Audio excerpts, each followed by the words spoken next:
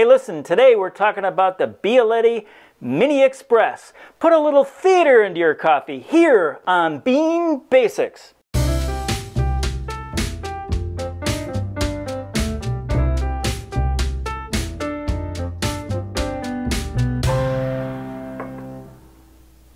Oh, hey there. Welcome to Bean Basics with Bob and Michelle. Welcome to sunny Saugatuck. And welcome to the OBIIS Lab. Hey, listen, today we're talking about the Bialetti Mini Express. And it's different than the Bialetti Moka Pot. And it's different in two ways. One, you can see from this picture, it's got a cup warmer. And two, it will dispense directly in the cups. It's like a mini espresso bar. It's a mini espresso bar, except you know, any of our espresso aficionados would take great exception to the idea that anything coming out of a moka pot would be, be considered espresso. espresso, right? All right, we'll call it a mini cheaters espresso bar. Okay, mini cheaters.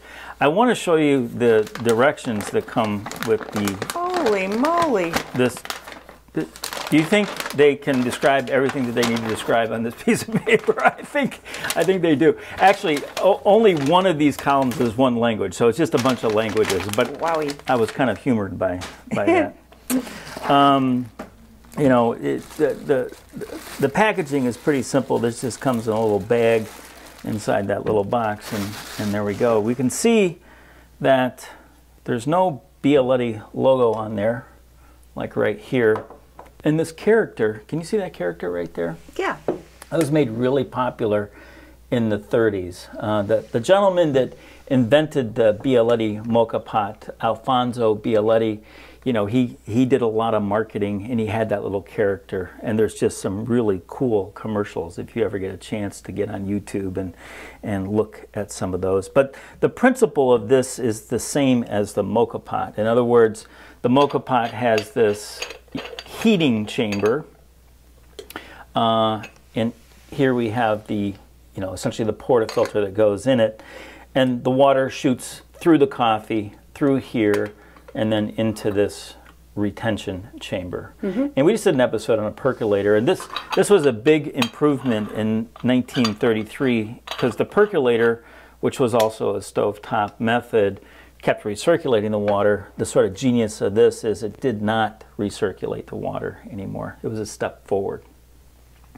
Uh, this is a variation uh, of this, as I mentioned, and Bialetti has all kinds of designs on their moka pot. They have bigger ones, smaller ones, uh, more sleek, more Art Deco, and so on and so forth. But I've always loved this one right here because what it does is it allows you to take two espresso cups and put them right there and it'll brew right into it. Now as this aluminum base heats up and this stem heats up, so too does this plate. This plate heats up, therefore warming your espresso cup. So a lot of times we would say, hey, preheat your cups. With this, it's not as necessary. Cool. Yeah. So now this makes relatively a small amount of coffee. So if we look at the chamber in comparison to the three cup uh, moka pot, we can see that the chamber is a lot smaller. One actually fits into the other. So this is definitely a, a three cup here. This will only do two, but that's a good thing because it only holds two cups to begin with, you know. So, um, but let's go ahead and, and get started. Uh, we're using a hot plate instead of uh, a stove top. And let me get that turned up here uh, a little bit. I do want to mention to everybody that we uh, do have an episode on the moka pot. We'll put that link up here and it'll go into detail on some of the uh, preparation I'm going to go into right now. Uh, I did uh, note that this chamber holds somewhere between 60 and 80 milliliters of water. We're going to go basically with 60 and we're just going to take it to just shy of this valve right here. And this is a pressure valve because keep in mind you've sealed everything up really tight right here and should something go wrong and the water not be able to escape, you don't want this to blow up on you, right? No. No, no. And so this valve will open up and steam will come out and you would know to take this off uh, the heat source and everything would be okay. So it's like a little pressure cooker for coffee. Well, yeah, yeah, sure. I mean, uh, we're applying heat. Eventually, that turns into boiling water, steam. It does get shoved through the coffee up these pipes here, and so on. I think the pressure cooker you're thing you're referring to is this valve right here, mm -hmm. right? You need some place for it to go just in case something went wrong. Okie doke. Uh, we need to dispense some coffee. I don't think this will hold more than like 12 or 13 grams, but let me just uh, go ahead and measure that out. And this is a little different in the sense that um, we could measure exactly the amount of uh, coffee to water, uh, but it sort of depends. The, the amount uh, that would go in here would depend on the degree of roast and so on and so forth. So we're just going to go ahead and fill this cup up. But I think that'll be about 12 grams. Let's grind some coffee and find out how many grams will go in there. Uh, but let me measure uh, about 15 out the get-go. 11.7. 16 point, 14.3. Uh, I think 14.3 will probably do it. Uh, we'll keep track of, of how much we actually do use. And I'm going to spray uh, the coffee. And watch out, this is hot. Can you See Woo! that? Wow, okay. I'm going to spray the coffee. That's not necessary. I'm going to spray the coffee uh, because if I spray the coffee with just a little atomized water, when we put it in the grinder, we won't get as much static cling around where it dispenses right here. So let me get that in there. And I'm going to turn it off right away because I actually did grind some coffee in advance. And it's a pretty fine grind. I've got the the Encore grinder set at 8, which is technically its espresso setting. This is not an espresso grinder. Like you can't get coffee fine enough for espresso out of this grinder, but this espresso setting will be just about the right kind of fineness that we need for the uh, moka pot. I'm going to take this out for a minute. I just have something for it to nest in, and I'm going to tear, tear this out so we can get some coffee in here. And you'll see what I mean. It's kind of hard to say, well, definitively it needs 12 grams or 14 grams. I'm getting kind of messy here. But the thing that I want to avoid is channeling. So I'm going to go ahead and tap that down and try to take out all the channels that I can. And you can see that leaves room for more coffee again. It almost looks like you have to tamp it. It's like tamping, but you know, although in the episode that I've put up here, I do talk about a light tamp with your fingers, but you have to be careful not to get it too tight or you will create that environment where uh, the water can't actually get through and that steam valve might come out. So I am in favor of just a light pressing here, but mostly I don't want the coffee to find a short route out the water to find a short route out. Did I say that wrong? I did. Close enough. How many grams do we have there? 10.9. 10.9. And you can see there's still some room to go until you get to the lip. I don't know if you can see that. So Just I'm going to a little bit. Yep, I'm going to put a little bit more in here yet. And see if we can't get that to about 12. Even that out a little bit. I'm going to get messy here for a minute. 12.6. Okay, I'm happy with that. All right. Uh, it's time to fill our chamber. Uh, we're going to use about 60 mils. 60 mils for two espressos would, would be, and these aren't espressos, these mm -hmm. are mm-hmm. pots, uh, but two, two 30 ounce doses would be just about right for an espresso. So I'm kind of happy to be in that particular range. I'm going to use preheated water just so that when we get it on the boiler, it goes a little bit faster but the other thing it does, and you can see this in, in the other episode that I did, is that um, it keeps from cooking the coffee as this, this is trying to heat up, right? So if the water's already a little hot, uh, that's a real advantage in terms of the time that it takes uh, to get it done, but also so that it doesn't heat the coffee before, oh, you know what?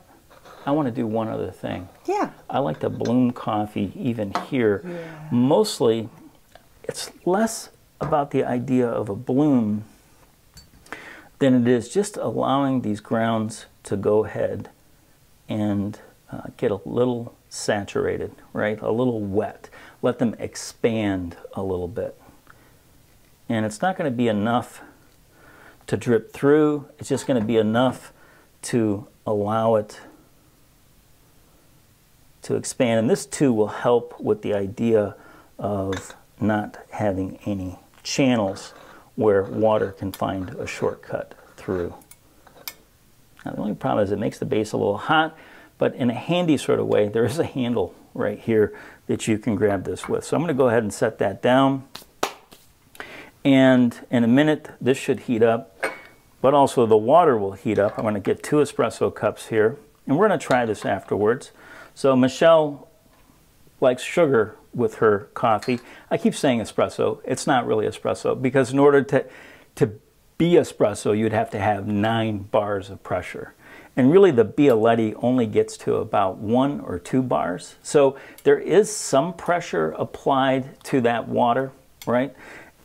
And as it's forced through the grounds, but that nine bars of pressure is what allows espresso to be done in like 21 to 30 seconds, where this is still going to take one, two minutes if you're starting with hot water, and it would take three or four minutes if you were starting with cold water. Hey! Do you think I made enough of a mess here? I was going to say, this is not for the uh, uh, I faint have, of cleaning up. no, no, no, no. But we'll, we'll just try to put a little bit, just ignore that. Just put it to the side. I do like watching the Isn't uh, it sweet drip through. coming out? Yeah. Right? And it's coming out pretty evenly. So our table must be even, otherwise it would be uh, a little awkward. so But- if, if the film is ever crooked, that's me. Oh, yeah, right, right. And you know, uh, there's just a lot of theater to watching this happen. I mean, you know, what's the difference between this and that? Not much, except there's just a, a great visual here. And I can take this off because the pressure is is so hot that it'll, it'll sort of continue on for a bit anyway. But you see how fast that happened when I used uh, hot water? I mean, the water was still fresh that I took out of the kettle and that kind of thing. But um, there you go. Can you hear that? I can hear it. All right. So the water got hot. It pushed up through the grounds, through these two stems. Now, if you get in close, you can see one cup is fuller than the other. I was you just can, wondering about yeah, that. yeah, right. So uh, I don't know how it divides it once it goes through, and Mm-hmm. and you know, uh, it's his and hers, and but I only put sugar in one of them. But, oh, that's our difference. Oh, right. Okay, yes, I put two cubes of sugar in here, right? Or maybe a little bit of it, but I just noticed this is the one that had sugar in it. So, uh, babe, I'm going to serve this to you, but keep in mind it just came out. It's super hot, so don't So don't get careful. aggressive in in chugging it.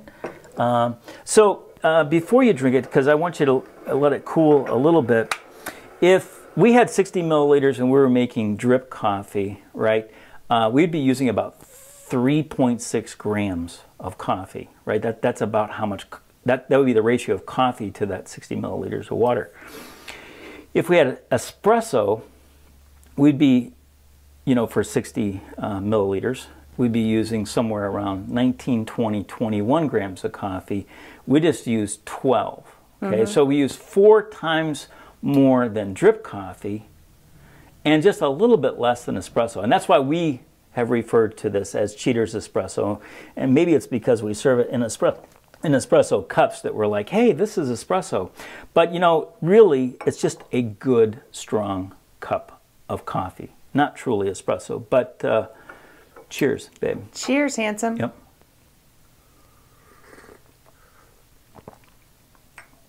Yep. It's got all the right notes to me. It, me too, right? I mean, a strong cup of coffee.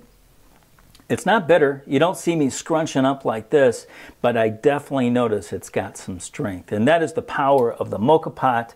Whether you're using this method or that method, it's a great method of producing coffee. So let me ask you this, okay, because we've been doing this lately.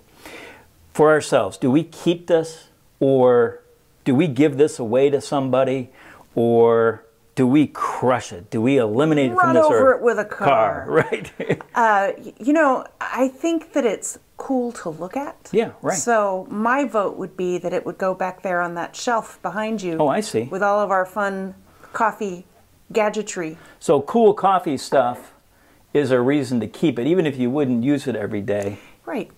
I got you. I mean, you might have a really good time uh, making two little cups for my dad next time he visits. For sure. I think he'd get a kick out of that. Would he drink two cups? No, you'd have to drink one of them. All right, that's enough tomfoolery. So, on that note, I think I'm going to say when you love the world, the world will love you right back. Hey, thanks for joining us. For future episodes, click the subscribe button. Bean Basics is brought to you by One Bigg Island in Space.com with two G's.